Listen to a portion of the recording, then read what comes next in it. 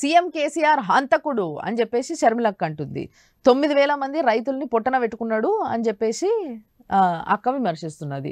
అసలు నిజంగా ఎవరు ఎత్తుకునే టాపిక్ బాగానే ఎత్తుకున్నది అక్క. అంటే వేరోళ్ళు మెన్షన్ చేసినప్పటికీ ఈమె ఎత్తుకున్నంత గట్టిగా సబ్జెక్ట్ని ఎత్తుకోలేదు అన్నట్టు అయితే నిన్న మన కేటీఆర్ సార్ అన్నాడు కాంగ్రెస్ లీడర్లంతా పిచ్చోళ్ళు పీసీసీ అధ్యక్షుడిగా తీసుకొచ్చి రేవంత్ రెడ్డిని పెట్టుకున్నాడు అని చెప్పేసి అన్నారు అన్నట్టు. అయితే షర్మిలక్క ప్రతి విమర్శగా ఏమన్నది అని అంటే మరి ఆ కాంగ్రెస్ నుంచి ఎమ్మెల్యేలను కొనుకొచ్చుకుంటున్నారు కదా మరి మీరెంత అతి తెలివిమంతులు అని చెప్పేసి షర్మిలక్క అన్నది అన్నట్టు.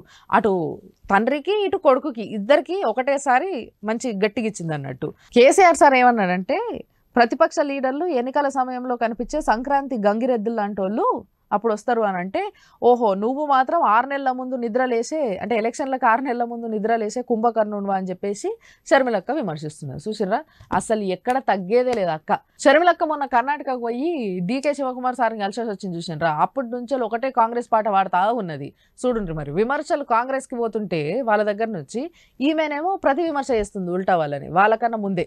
కాబట్టి ఇక దీని ప్రకారం మనం అనుకోవచ్చు అన్నట్టు. మరి రేపు రేపు కాంగ్రెస్లో కలిపిస్తుందా విలీనం చేస్తుందా ఏమే పార్టీ లేకుంటే పొత్తు పెట్టుకుంటుందా అనేది ఒక అంచనా అయితే ఉన్నది. రెండిట్లో ఏదో ఒకటి జరుగుతుంది అని చెప్పేసి.